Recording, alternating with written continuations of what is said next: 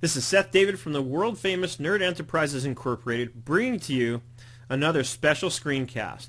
This time we're going to talk about what is a mind map. Knowledge is power. Make an impact by learning more. Call me right now at 866-945-8070 for information about private trainings. We always record the live session with you so you can review it as often as you like afterwards. Oh, hi. Seth David here with the world famous Nerd Enterprises Incorporated. Let's take a look at my notes before we get started. What is a mind map? Before I get really into answering that question, there's something I want to show you. At the end of this blog post and video, you might decide that you'd like some additional training on this topic or any number of other topics that you may have seen me cover by now. If that happens to be the case, come over here to my main website here at nerdenterprises.com and click right on the training page. Now, I know that we're speeding by at about 95, 96 miles an hour on the internet, but if I could ask you to just take one slow, deep breath while you're coming in here and take a look at the left hand side, here's the navigation. It's all laid out in a way that I think is pretty clear.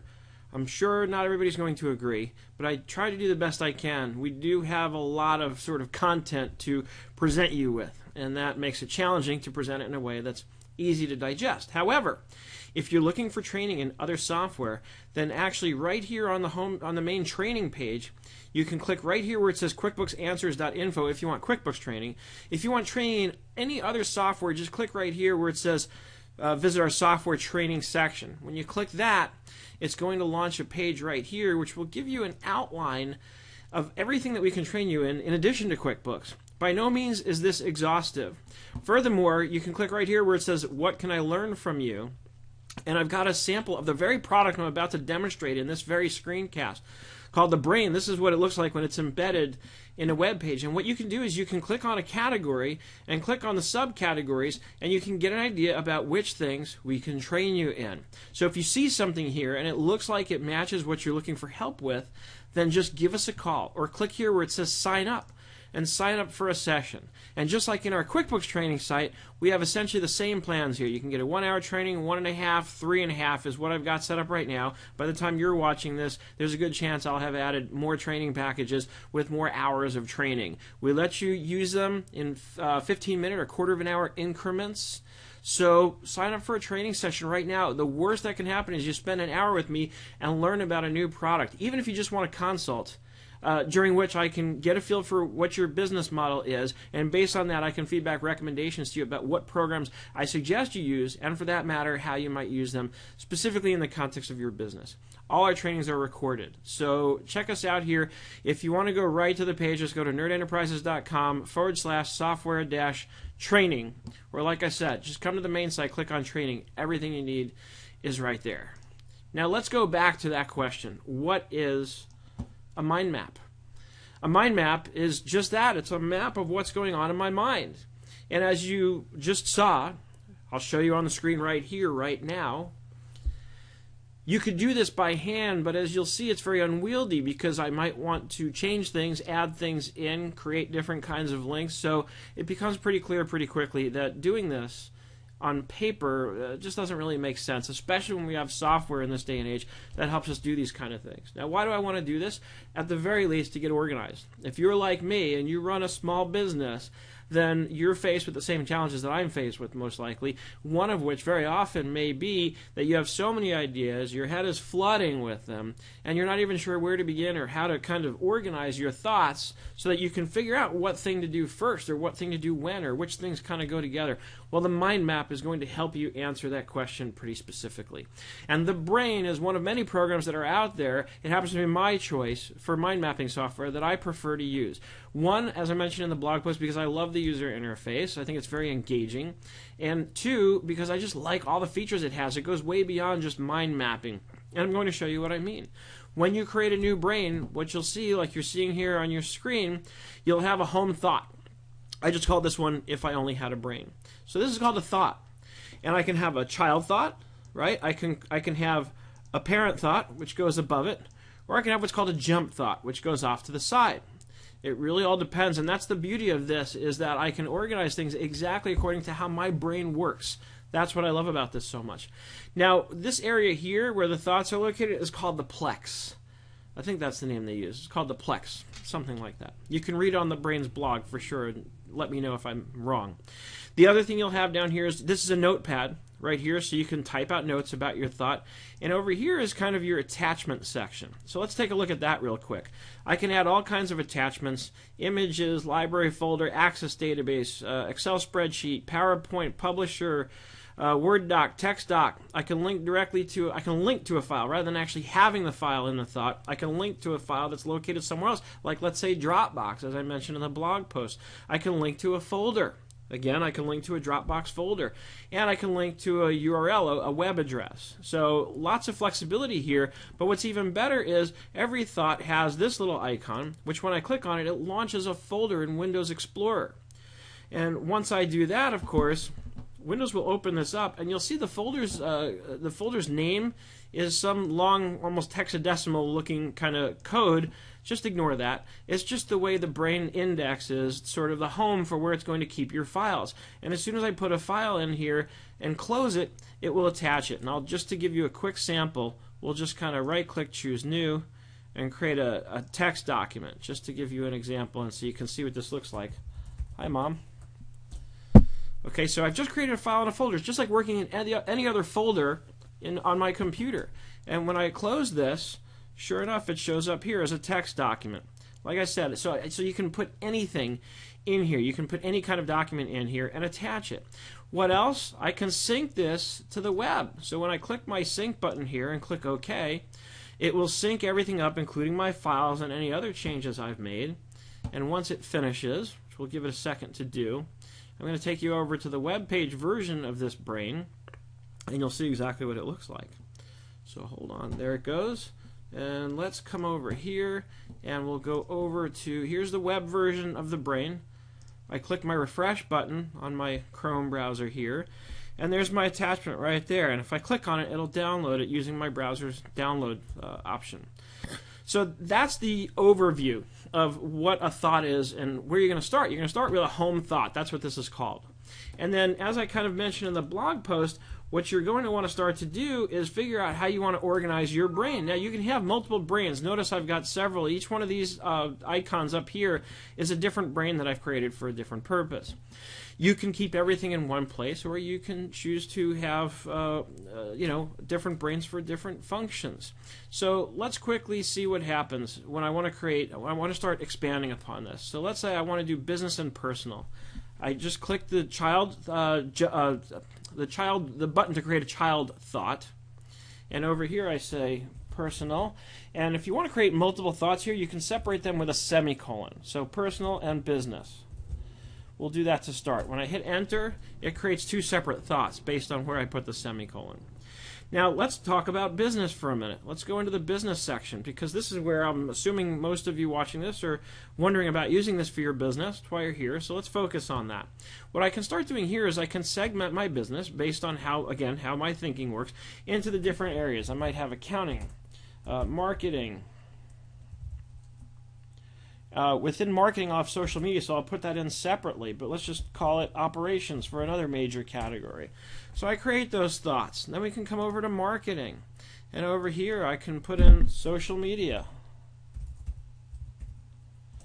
Okay, then in social media, I can put things like campaigns, right? So I can start, you know, organizing my different campaigns. And again, because I can attach documents, I can, you know, uh, within campaigns, I can start actually creating a separate thought for every different campaign I want to do. And each one will have its own folders with all the documents that relate to it. I also might want to have social profiles. Okay, and then within this, I'm going to have you know, Twitter,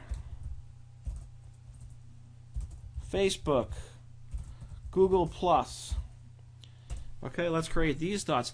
Now let's see how to attach a link because I've actually prepared and I've got some of these websites up. So what I do is I come over here and I'm just going to kind of uh, minimize this off to the side of the screen, then move it over.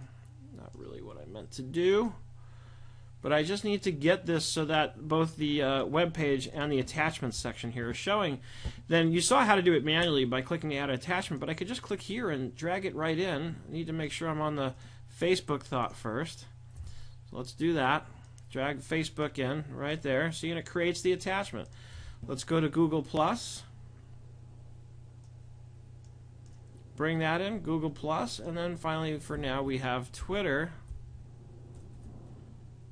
bring that over. So this way what you're doing is you're just putting your profiles, you're bookmarking your profiles and keeping them sort of at close reach, which makes it easy. Now watch what happens. If I go home and I want to find my Twitter thoughts, I can type Twitter in the search and it finds it and brings it right up. Same thing works on the web. So this makes it really easy to start organizing your thoughts. And like I said, if you wanted to, you could do campaigns around this stuff. Now let's look at another use case. All right, I talked about this in the blog also. Uh, let's say I want to do projects. I create a projects thought. Within here, I'll have project A. Okay, then coming back up here into the general business category, let's say I've got my employees. Okay, and then let's say within employees I've got Ronnie, Bobby, Ricky, and Mike. Okay? And now let's say I want to assign Bobby to this project. Notice here, because I'm just one level below business, I can see the other categories that are inside of business. Notice I've got projects here. So if I want to say that Ricky's going to work on project A, what I may want to do is I, I click on Ricky, because notice at the bottom here what it does is it, this gives you kind of a, a schematic or a mapping of what thoughts you've recently visited. So I want to click on Ricky just to get him in there, to get him to show up there. Let's go back and let's go over to projects, project A, and I want to assign Ricky to this project. Well, here's his thought right down here. I just click and drag up and make him a child of that project. So now I have project A associated with Ricky. If I click on Ricky, Notice what happens. I see them there tied into employees. I see them there tied into project A. And again, I can have all kinds, since this is the employee thought, I can have all kinds of information about Ricky in here. I can have his employment agreement, whatever else. And look over here, I can check off and make the thought private. That way, if I do happen to have this brain shared on the web, that particular thought can't be seen by anyone who doesn't have the login to actually log into the brain. So it won't be visible here. That's nice to know. So I can keep thoughts private even though the brain might be shared.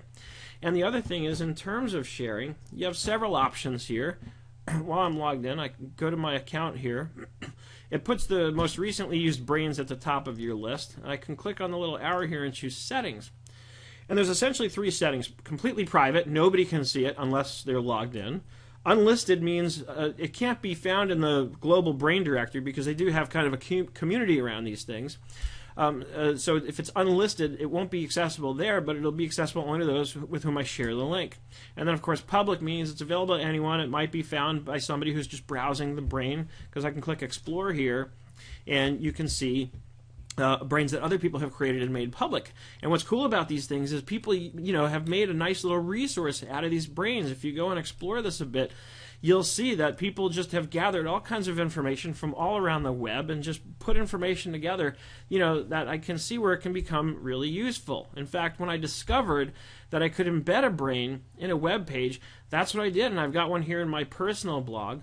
And what I've started to do is I've started to accumulate information that I think people might find useful. Some of it, of course, is information specific to me. I have my about.me page in here. And, and what happens is when you click on the thought, it will uh, come around to it. And then down below on the web version, it'll show you anything that's attached to that thought. You know, again, the same things that we show down here. It just looks a little different on the web version.